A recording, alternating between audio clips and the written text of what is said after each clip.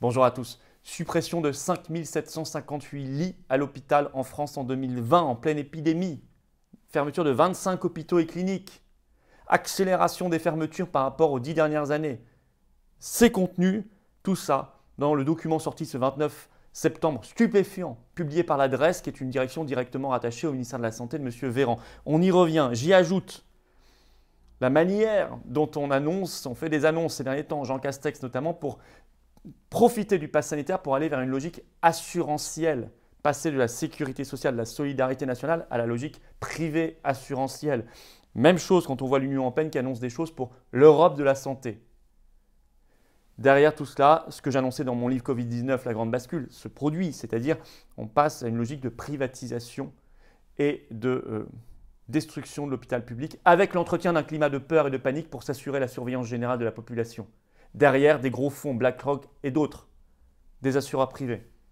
Tout ça, il faut le comprendre et tant mieux que ce soit publié parce que ça permet à des gens de s'éveiller et de venir dans le combat.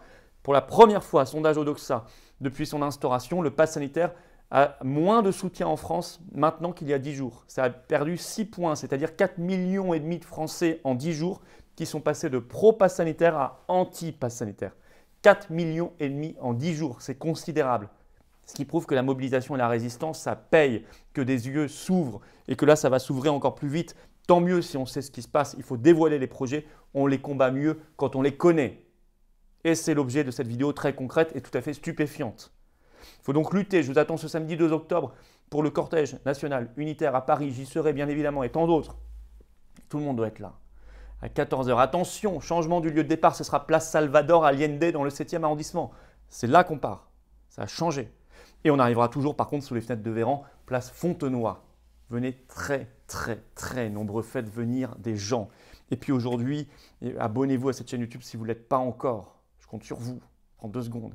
Puis aujourd'hui, nous fêtons nos 4 ans, 29 septembre 2021, 29 septembre 2017, 4 ans des Patriotes. C'est une belle date pour adhérer, pour prendre cette carte de résistance, surtout qu'on vient de dépasser les 30 000 adhérents à jour. En 4 ans, plus jeune mouvement de France, plus que plein de vieux partis très médiatisés. Il y a une énorme dynamique. Saisissez-la. Je trouve qu'adhérer ou reprendre son adhésion annuelle le jour des 4 ans, c'est pas mal. Et le lien pour faire cela, adhérer ou réadhérer, se trouve sous la vidéo en lien en description. Il se trouve également en commentaire épinglé en fin de vidéo en cliquant là ou là sur l'écran directement. Vous nous rejoignez. Vous êtes tout de suite dans la dynamique. On se bat ensemble. Et pour les générations qui viennent, et pour notre pays, et nos valeurs, et notre liberté. Le lien également pour faire un don de soutien aux patriotes le jour des 4 ans, c'est pas mal non plus et se trouve sous la vidéo en description ce lien. Adhésion, réadhésion, don, c'est défiscalisé aux deux tiers pour vous. Faire un don, ça permet de financer tout ce qu'on fait. On n'a pas un centime de l'État. Pour nos 0 ans, nos 1 an, nos 2 ans, nos 3 ans et nos 4 ans, on n'a toujours pas un centime de l'État ni des banques. Que les adhérents et les donateurs. Donc bravo à ceux qui ont fait un don de soutien au mouvement et donc à la résistance tout entière et bienvenue aux nouveaux adhérents ou aux réadhérents, en particulier ce jour des 4 ans. Alors, destruction, privatisation de l'hôpital. Le pass sanitaire aide à ça. En passant, Grâce, je vais vous expliquer pourquoi avec les dernières annonces, le pass sanitaire, en fait, au-delà d'être un outil de contrainte, c'est un outil qui permet de passer à une logique assurantielle avec des acteurs privés derrière. Alors d'abord, ce document stupéfiant, publié ce 29 septembre, incroyable, c'est la publication numéro 1208 de l'adresse. Qu'est-ce que c'est que l'adresse? DREES C'est la direction de la recherche, des études, de l'évaluation et des statistiques du ministère de la Santé, très officiel. Je le cite ce document. Entre fin 2019 et fin 2020, le nombre de lits diminue de 1,5%. Donc lits à l'hôpital, bien sûr.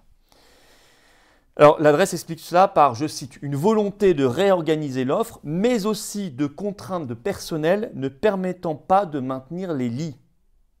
L'adresse rappelle dans cette publication que depuis 2013, il y a eu 27 000 lits supplémentaires fermés en France à l'hôpital. Et elle ajoute ceci, ce qui est incroyable. En 2020, la baisse est plus marquée que sur la période 2013-2019, puisqu'on a perdu 1,5% rien qu'en 2020, alors que la moyenne en 2013-2019, c'était 0,9% de baisse par an. 1,5%, ça veut dire 5758 lits fermés en 2020 et fermeture de 25 hôpitaux publics et cliniques. Pendant ce temps, je vous le rappelle, tout le long de l'année 2020, messieurs Macron, Castex, Édouard Philippe avant et Véran Salomon et tous les autres et tous les médecins de plateau de télé ont fait du chantage en permanence aux Français sur la, je cite, saturation de l'hôpital. Obéissez, vaccinez-vous, faites votre passe sanitaire, confinez-vous, faites le couvre-feu, fermez, etc. Sinon, vous allez saturer l'hôpital. Et au même moment, plus que jamais, il fermait quasiment 6000 lits et 25 hôpitaux et cliniques. Le but, bien sûr, c'est de renforcer la panique, la peur. Plus c'est saturé, plus les taux de saturation sont importants. Bon, il y a de lits disponibles.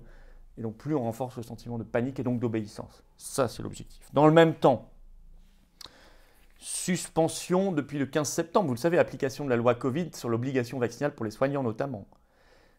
Suspension donc de personnel, fermeture de services. J'ai fait une vidéo spécialement là-dessus il y a quelques jours. Vous irez voir, c'est beaucoup plus que ce que dit le gouvernement lié à l'obligation. Alors, le 15 septembre, Véran disait qu'il y a eu 3000 soignants suspendus. Depuis le 23 septembre, il est passé à 20 000. La réalité, c'est qu'on est probablement à plusieurs centaines de milliers. Ils ont déjà multiplié par 7 quasiment en 8 jours, le chiffre officiel. Et ça aussi, ça contraint l'hôpital plus que jamais. Dans le même temps, grâce au pass sanitaire, ils veulent installer une logique assurantielle en rupture avec les principes du Conseil national de la résistance, de la solidarité nationale attachée à la sécurité sociale. J'explique. Dans les échos, ce 26 septembre, le Premier ministre Jean Castex annonce, à la surprise générale, qu'à partir du 15 octobre en France, les tests de dépistage Covid deviendraient payants pour les non-vaccinés, sauf prescription médicale, mais resteraient gratuits pour les vaccinés Covid. Ça, ça s'appelle une logique assurantielle. Vous n'avez plus le même niveau de service en fonction de vos choix ou de votre état de santé, par exemple, ou de vos choix de santé ou de vos choix de vaccination. C'est tout à fait nouveau, c'est une rupture historique. Par exemple, demain, bah, je rappelle à ceux qui approuveraient ça que ça pourrait tout à fait justifier, si on accepte ce principe-là, que demain, on fasse payer leurs frais d'hospitalisation pour je ne sais quel euh, problème, diabète ou j'en sais rien, aux personnes obèses. En disant, bah, vous n'aviez qu'à pas être obèse, vous n'aviez qu'à faire du sport ou un régime. On ne prend plus en charge vos, frais d'hospitalisation. Pareil, les fumeurs, par exemple, on dirait, bah, vous payez vos cancers maintenant. Vous payez vos cancers. Voilà. Euh, mais on peut aller très très loin, hein, ou les gens qui boivent un coup de temps en temps, vous payez votre cancer, etc. Ça, c'est la logique assurantielle. La rupture avec la sécurité sociale et la solidarité nationale. Ça permet quoi, bien sûr, d'enclencher cette, cette transition dans la tête des gens? Bah, De rendre plus mûr le transfert vers les assureurs privés ou les fonds de gestion ou les gestionnaires d'actifs style BlackRock, très liés aux macronistes. On le sait, je vous en ai déjà parlé dans les vidéos, qui est le plus gros gestionnaire d'actifs au monde, qui est américain, qui gère des milliers de milliards de dollars et d'euros qui est très intéressé notamment par notre système de retraite, mais aussi par la santé en général, qui est un marché considérable. Pour enfoncer le clou, vous avez cette, déclaration reprise par le journal 20 minutes ce 23 septembre d'une députée en marche qui s'appelle Anne Genetet, qui déclare sur le pass sanitaire, je cite, je la cite, Aujourd'hui, il pourrait rentrer dans le droit commun, comme le carnet de vaccination pour les enfants ou le permis de conduire, c'est-à-dire comme un outil qu'on doit avoir en permanence sous la main et qu'on peut sortir en cas de besoin. Fin de citation. On entre et on pérennise cette logique assurantielle, qui en même temps est une logique de contrainte sur les individus et de surveillance. Les deux logiques vont ensemble. Au même moment, l'Union européenne avance sur ce qu'elle appelle son Union européenne de la santé ou l'Europe de la santé. Ainsi, article des échos du 26 septembre dernier, je cite le titre. Bruxelles pose les premières pierres de l'Europe de la santé par la création d'une agence, la HERA, H-E-R-A, dotée d'un milliard d'euros de budget par an. C'est une, je cite, autorité communautaire de santé. C'était un projet en gestation depuis un an, disent les échos. Évidemment, l'Union européenne n'ira pas dans le sens d'une solidarité entre les gens, mais plutôt d'une logique d'assurance privée de santé à deux vitesses. Sachez que, vous le savez, BlackRock, je vous l'ai déjà expliqué, est très lié à la Commission européenne.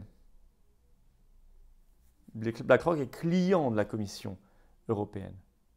Plus exactement l'inverse, pardon. La Commission européenne est cliente de BlackRock. Notamment. Alors évidemment, tout ça, il faut le voir comme une logique. Ça veut dire quoi? Bah, ça veut dire que métier de la santé, nous sommes en train d'organiser la riposte. Première réunion jeudi pour organiser tout ça. J'en ai parlé le 25 septembre. Il faut maintenant frapper très fort. De la même manière, si demain ils nous remettent en confinement, en couvre-feu, aux restrictions, etc., on ne pourra plus y obéir et rester chez nous. Vous l'avez bien compris. Là, nous sommes maintenant passés à l'étape d'après. Et je le dis très clairement, je le dis dans mes discours que je mets en ligne régulièrement. Plus fondamentalement, Il faut comprendre cette logique. Leur logique est cohérente. La, nôtre doit l'être tout, en, tout entièrement également en face. Sortir des griffes de la finance, réaffirmer des principes simples, ceux du service public, ceux du respect des métiers de la santé, ceux de la liberté de prescrire des médecins, ceux de se débarrasser du pass sanitaire immédiatement, intégralement, sans retour en, en arrière possible. Et ça, c'est un travail de résistance, de riposte, d'explication, d'éveil permanent. Évidemment que nous devons mettre en place le Frexit. S'arracher aux griffes de la finance, c'est s'arracher aussi aux griffes des instruments politiques de la finance, c'est-à-dire les institutions supranationales, à commencer par l'Union européenne. Voilà tout un travail sérieux. Je vous attends en ce sens. Ce samedi 2 octobre, rendez-vous 14h, place Salvador Allende à Paris. 7e arrondissement, attention, changement du lieu de départ. On ira toujours jusqu'à la place Fontenoy sous les fenêtres de Véran. Venez très très très nombreux. Dans les sondages, en 10 jours, 4,5 millions de Français ont basculé. Sondage Odoxa qui est sorti hier. Ils sont passés de pro-pass à anti-pass sanitaire. C'est très encourageant et c'est la première fois que ça se produit. Il faut donc accélérer. Et il faut diffuser cette vidéo parce qu'elle permet de comprendre ce qui se passe, de comprendre tous les enjeux. Et aujourd'hui, abonnez-vous à cette chaîne YouTube. Allons vers les 300 000 abonnés. Si vous regardez sans lettre, eh bien abonnez-vous. Très très important pour la visibilité des vidéos. Et puis aujourd'hui, nous fêtons 29 septembre 2021 les 4 ans des Patriotes, de cette carte orange de résistants. C'est un beau moment, un beau jour pour devenir adhérent ou reprendre son adhésion annuelle. Le lien pour le faire se trouve sous la vidéo en description, se trouve également en commentaire épinglé ou ici, là, en cliquant directement sur l'écran. Bienvenue dans la dynamique populaire, plus de 30 000 adhérents à jour, dans ce combat phénoménal, titanesque qu'on va gagner qu'on va gagner parce qu'il se dévoile beaucoup trop et que des gens s'éveillent. 4 millions et demi qui ont basculé en 10 jours, je vous le redis et vous le redirez, c'est très important.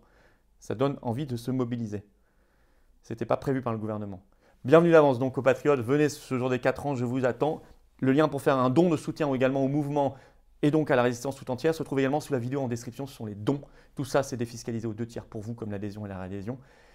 Et ça nous permet de financer tous ces énormes manifestations et tous ces mouvements de résistance. Bienvenue d'avance aux patriotes, bravo à ceux qui font un don de soutien au mouvement et à toute la résistance. Vive nos 4 ans, je me permets de le dire. Vive la liberté, vive la France.